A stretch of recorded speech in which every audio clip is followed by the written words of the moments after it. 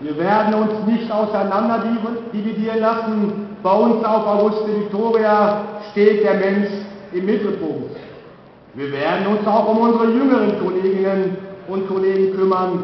Wir lassen sie mit ihren Ängsten